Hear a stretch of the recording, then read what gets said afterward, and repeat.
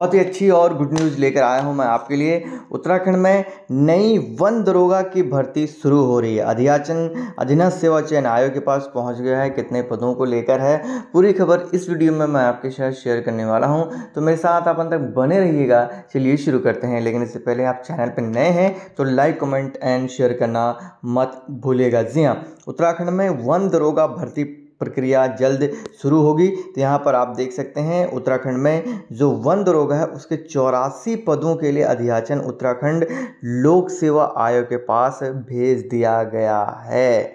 ठीक है, यहाँ पर आप देख सकते हैं हैं वन दरोगा के लिए। हालाँकि यहाँ पर उत्तराखंड लोक सेवा आयोग लिखा है, लेकिन आपने देखा होगा कि रिसेंट टाइम में जो लोक सेवा आयोग की परिधि से बहुत सारी भर्तियाँ बाहर निकल गई हैं और रिसेंट टाइम में अधीनस्थ सेवा चयन आयोग ही इस भर्ती को कराता आया है।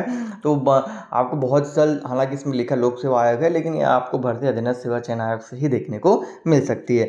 तो इस संबंध में आप देख सकते हैं, ये पहले भी कयास लगाए जा रहे थे कि करीब 100 से लेकर 150 पदों के आसपास जो है, वन दरोगा की नई भर्ती आ सकती है। लेकिन फ़िलहाल जो अध्याचन है, वो चौरासी पदों को लेकर जो है, पहुँचा है। यहाँ पर आप देख सकते हैं, वन विभाग में वन दरोगा, फॉरेस्ट गार्ड, डेप्टी रेंजर और रेंजर के करीब एक हज़ार से अधिक पद खाली चल रहे हैं। यहाँ पर आप देख सकते हैं, कुल यहाँ पर एक हज़ार पद यहाँ पर खाली चल रहे हैं। और इसमें आपने देखा होगा कि रिसेंट टाइम में कहा भी गया था कि फॉरेस्ट गार्ड की भी जो है, नई भर्ती आने वाली तो इसी सिलसिले में आप देख सकते हैं, पिछले दिनों जिस तरह से जंगल जंगल जंगल एक कहावत, बात चली है करके एक तरह से सॉन्ग भी वायरल होता है। तो जिस तरह से फनाग्न हुई है और जिस तरह से सरकार की किरकिरी हुई है और रिसेंट टाइम में तमाम ऐसे पद हैं जो खाली थे जिसकी वजह से सरकार को ये डिसीज़न लेना पड़ा है। सरकार ने भी नई भर्ती की बात कही है। इसी क्रम में वन विभाग की ओर से वन दरोगा, यानी कि फॉरेस्टर के डेढ़ सौ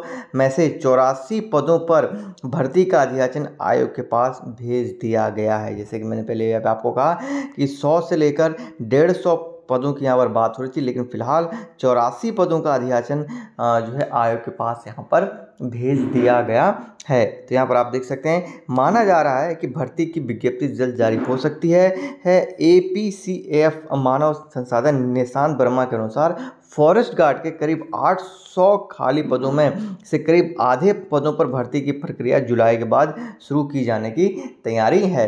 यानी कि यहाँ पर आप देख सकते हैं, अगर हम फॉरेस्ट की बात करें, फॉरेस्ट गार्ड की बात करें तो करीब 800 पदों पर यह भर्ती आएगी, जिसका विज्ञापन आपको जुलाई में देखने को मिलेगा। और यहाँ पर फॉरेस्ट जो